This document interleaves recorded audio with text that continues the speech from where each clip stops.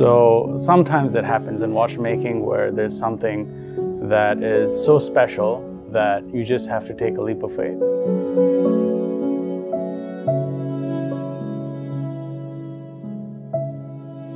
My name is Rahul. I was born in India. I'm still Indian, but I've been living in Singapore about 15 years now. 啊，我叫 Sean，啊，我出生在上海，中国，我现在定居在悉尼。 Akrivia 这个品牌我有听过，但是 Rexhep Rexhepi 是谁我就不知道。我很有兴趣去了解一下，它到底是一个什么样的品牌，什么样的一个啊、呃、表。那就是这样子接触到了 Rexhep Rexhepi，接触到了 RRCC。My name is Eric. I'm based in Sydney, Australia right now. Um, came from Taiwan, so I was born in Taiwan but grew up here. Uh, I've been through a wild ride with independent watches. I think my journey to chase independent kind of stopped when I bought the RCC one. In 2014, when they released the Monopusher chronograph, because I think that was a phenomenal movement. And I had that movement as my wallpaper for I think three years for both my laptop and both my phone. So I admire that movement every single time I turn on my device. And that was my introduction to Akrivia and I've been paying attention to their release from then on. I'm Firmin, I'm from Sydney, Australia, and living here my whole life. I think with RCC1, I uh, was shown an earlier render um, of just the dial itself. I didn't see the case at that point in time. I think this was just before its launch around back in 2018 in Basel.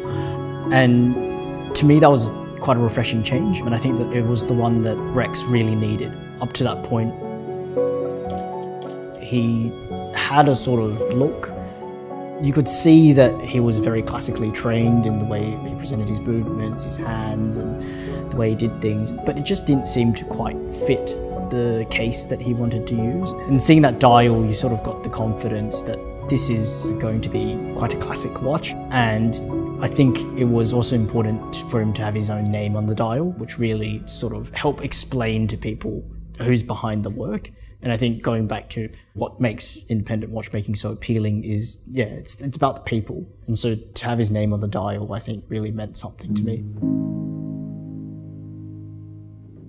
he's managed to make a, a simple three-hand watch look different but classic at the same time. And when you turn it over and you, you just get blown away.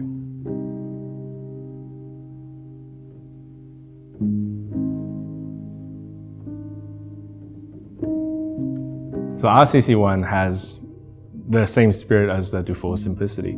It's to make a watch that looks simple, but it's very complicated internally. So like how they finished the movement, how Richard planned out the movement layout to make it look symmetrical and beautiful, how they planned every single finishing technique on the surface and on the back to make the light shine just right, and how he also learned techniques from Dufour to elevate his polishing skill and his decorating skill to the next level.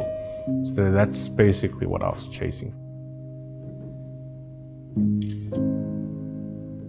这个时候就需要你有一种信仰，对制表是一种信任，就是他能够有这个能力，把他的设计理念，把他想要表达出来的东西，通过他的一双手，最终做成一个产品放到你的面前。我觉得这个是一个非常有意思的东西，也是非常有魅力的一个东西。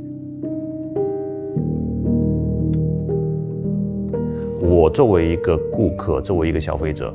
能够参与到这个 project 当中，从它的 prototype 开始，慢慢一步一步到最终，你所定的手表交付到你面前，这是一个非常非常完全不同的一个消费体验跟这样一个买表的一个经历。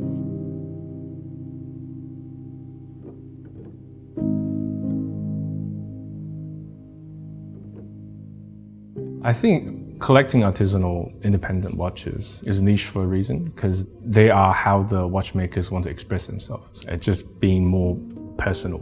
Like independence, I can meet the maker of the watch. I can know why he does this. Like I can ask him to explain why the movement was like this.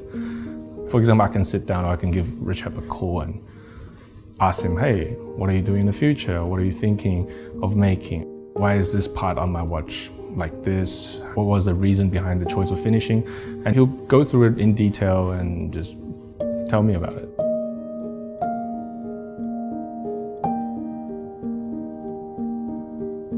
The most memorable, obviously, was when he was visiting Sydney and he had a spare evening. So we took him to Lord Nelson Brewery, which is a, just a tr traditional pub here in Sydney. And, you know, a, few beers down, you know, we, we had a lot of nerd talk, obviously. Um, but I, we, we started to ask him his thoughts on anglage and all the hype around, you know, interior angles and, you know, the, difficulty of um, anglage. Rex started drawing, you know, the different uh, types of anglage and trying to explain um, how he would do it by hand, what you could do with a CNC machine and what you couldn't do with a CNC machine, um, and the types of angles that he thought would be the hardest to finish. Um, and that, that was a really, really enlightening experience um, because a lot of the assumptions that I had before um, sort of were proven to be untrue. And I remember going home just staring at the ceiling and looking at all the cornices and how angles came together. It was a good memory for me. When I look at the watch, and I do wear it a lot, I at some points in time I will wear it for six to nine months um, every day it still brings that joy um, every time I wind it up. It's butter smooth, um, and I still get that surprise when I turn it over and have a look at all the fine finishes, um, even three years in now.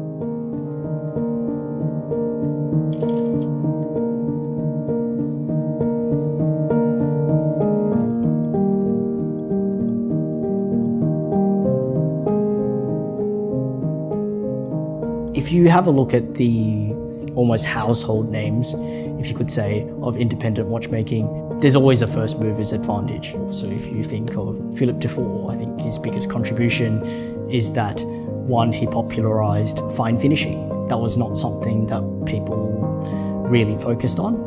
And people, after seeing the simplicity, started to think actually a three hand watch can be worth so much and can be valued.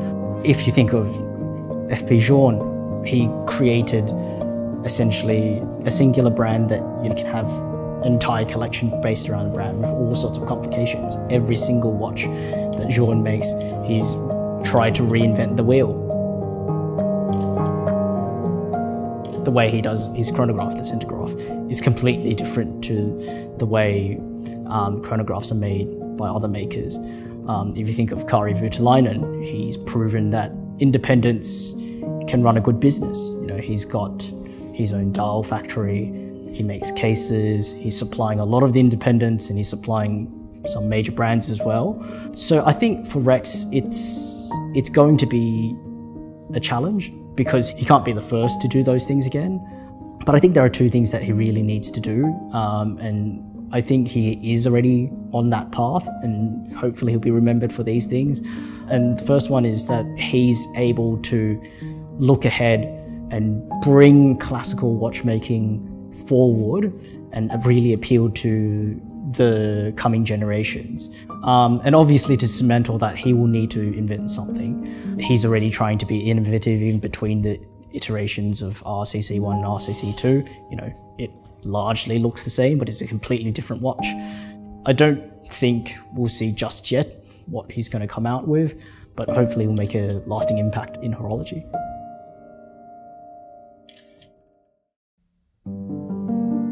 He represents the new generation, especially the current generation that came out around after 2000 to maybe 2010. He definitely represents that group. The newer generation will have a very long way to go because before them there's Dufour and then there's also Journe who's also like very well established. And I think Rexhep with how carefully he plans his work with like eight to 10 years already planned out with product already in development, I think he have a very bright future in the watch world.